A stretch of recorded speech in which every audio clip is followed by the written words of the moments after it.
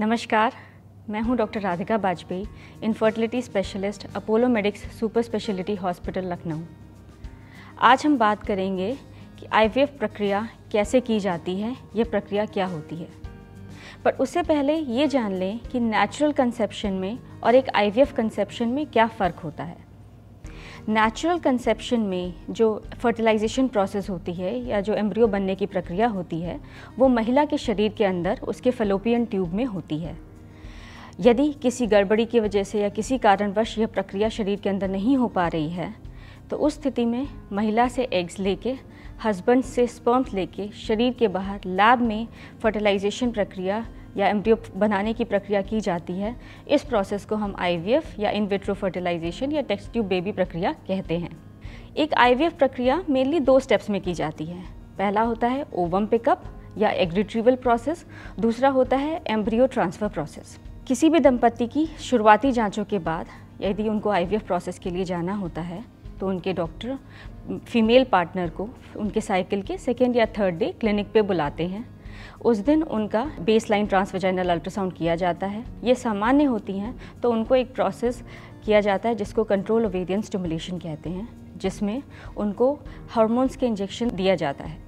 ये हार्मोन्स के इंजेक्शन की प्रक्रिया 10 से 12 दिन की होती है, और जब eggs maximum number of eggs एक मेच्योर साइज़ पे पहुँच जाते हैं, तब उनका ओवम पिकअप प्लान किया जाता है।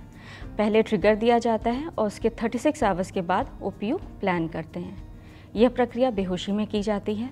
महिला को किसी प्रकार का पेन या दर्द नहीं होता है। जिस दिन ओवम पिकअप होता है, उस दिन ही हस्बैंड से स्पर्म्स लेके महिला से एग्स जो लिए हैं, उनको मिला के हम एम्ब्रियोज़ बनाते हैं, आईवीएफ या इसी प्रक्रिया के द्वारा।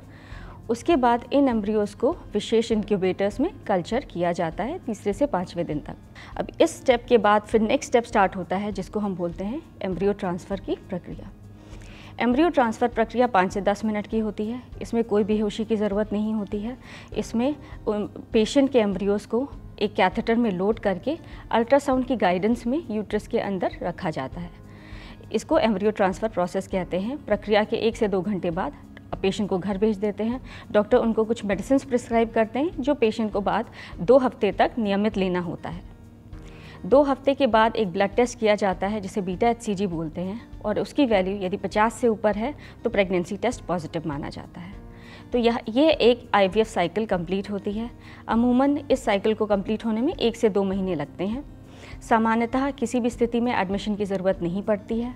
यह एक बहुत ही सुरक्षित प्रक्रिया है और आजकल एडवांस टेक्निक के प्रयोग होने की वजह से आईवीएफ के सक्सेस दर बहुत बेहतर मिलते हैं। यदि आपको इनफर्टिलिटी रिलेटेड कोई समस्या है, कोई क्वेरी है तो आप अपोलो मेडिक्स हॉस्पिटल के इनफर्टिलिटी और आईवीएफ यूनिट में संपर्क कर सकते हैं।